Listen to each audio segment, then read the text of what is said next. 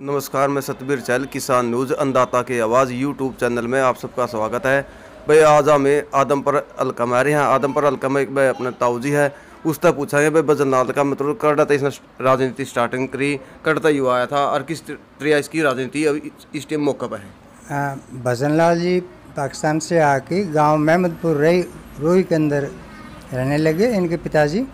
और फिर इन्होंने आदमपुर में चोरी पोखरमल इनकी बुआ के लड़के थे। उनके साथ में घी का काम शुरू किया और कुछ जिन्स राजस्थान से इधर इधर से वहाँ ये भी काम किया। ये चुंदड़ी वाला की तो ये हाँ ये चुंदरी का भी बता रहे हैं कि वहाँ से राजस्थान से लेके यहाँ यहाँ उसका भी व्यापार किया। फेरी क्या करता हाँ। वो काफ़ी निचले स्तर से उठ के और पंचायत समिति के चेयरमैन बने पहले और उसके बाद एमएलए बने और मंत्री बने और सीएम बन गए। सीएम भी बन गए। ये अपने आप में तो कुल मिला के एक बड़ी बात है कि बिल्कुल छोटे से से उठ के ज़ीरो से उठा है। ज़ीरो से उठ के और मुख्यमंत्री तक पहुँचा। तो उनमें कला थी मिलनसार थे और साम दाम दंड भेद कहाँ किस तरह इस्तेमाल करना है वो सारे जानते थे। पीएचडी था पीएचडी हाँ ये पीएचडी अनपढ़ होते हुए पीएचडी था। ये बात माननी पड़ेगी।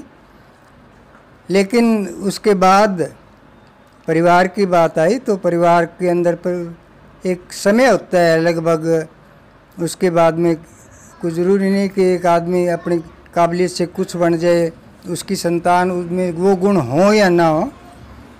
चंद्रमोहन थोड़ा उसमें बैल में पड़ गया बदनाम हो गए। इससे चंद्रमोहन जो है कुलदीप बिश्नोई से चंद्रमोहन को ज़्यादा समझ है राजनीति की। कुलदीप बिश्नोई को राजनीतिक समझ नहीं है बिल्कुल भी। भिवानी से भी एमपी बने ये चौधरी भजन लाल जी की वजह से। हिसार से भी एमपी बने। और यहाँ से भी विधायक आदमपुर हल्के से बने हैं। लेकिन राजनीतिक सूझबूझ और मिलनसारिता जो चोरी भजनलाल में थी उसका एक प्रतिशत भी चोरी कुलदीप बिश्नोई में नहीं है। एक आज तक का रिकॉर्ड रहा आदमपुर में बदलाल का दबदबा रहा है। ईव के रहुआ भी इलेक्शन आ गई। आदमपुर के अंदर ये पिछले लोकसभा चुनाव में लोकसभा चुनाव के अंदर आदमपुर विधानसभा क्षेत्र से बीजेपी के प्रत्याशी को बाईस हज़ार से ज़्यादा वोटों की बढ़त मिली थी। लोकसभा में? हाँ लोकसभा में। और ये एक लोगों के ये था कि भाई ये परिवार कभी हारेगा नहीं। वो मिथक जो है टूट चुका है और इस बार विधानसभा में भी शायद इससे मिलता जुलता ही नतीजा आए। और जो ये समझते थे कि भाई ये कोई उम्मीदवार पता नहीं कौन आगे, बाहर से आगे। उम्मीदवार के बाप दादा थे, वो थे। चौरी भजन लाल थे, मिलनसार थे, सामाजिक आदमी थे। चाहे उन्होंने कैसे भी संपत्ति अपनी करी हो, राजनीति वो जानते थे। ये एक संतान को आगे बढ़ाने की प्रवृत्ति हमेशा से रही है। कुछ एक त्यागी होते हैं जो नहीं करते इस बात को। और कुछ ज़रूरी नहीं कि एक सरपंच बन जाए उसका बेटा भी सरपंच बनेगा उसका पोता भी बनेगा ये प्रजातंत्र है। ठीक है। और ये भी ज़रूरी नहीं कि जो एक लायक माँ बाप के नलायक भी तो पैदा हो सकता है और नलायक शराबी बाप के भी गुणवान पुत्र भी पैदा हो सकता है।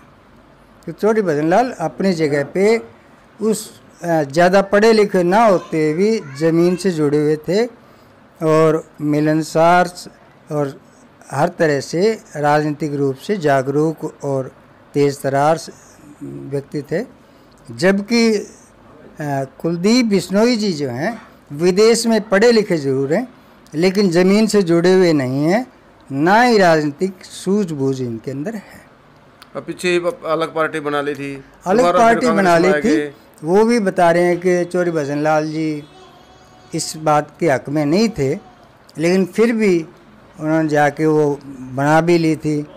और फिर बीजेपी के साथ में गडकरी जी को यहाँ इशार बुलाया था और वो गठबंधन की बात करी थी।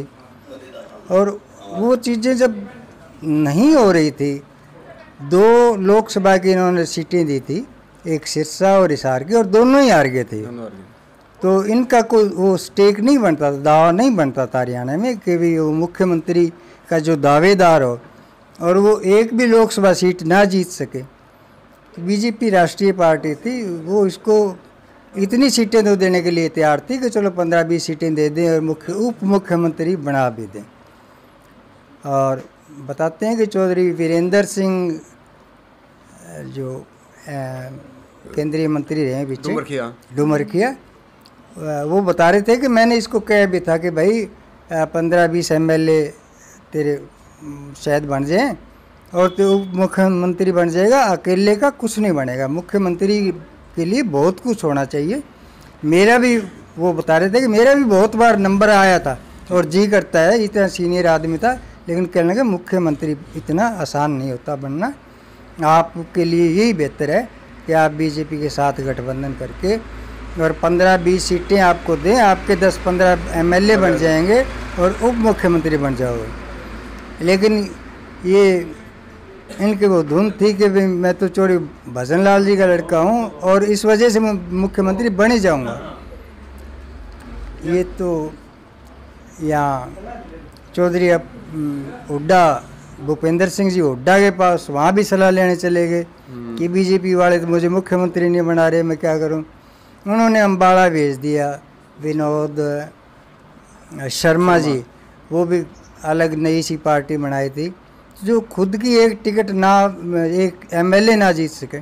उसके साथ गठबंधन है और वो कह दे कि हाँ मुख्यमंत्री पद के आप दावेदार हैं।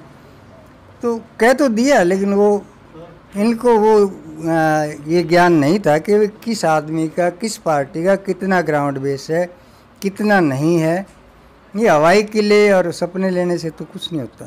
धन्यवाद जी आपका बहुत बहुत पूरी जानकारी आपने बजरलाल परिवार के बारे में दी।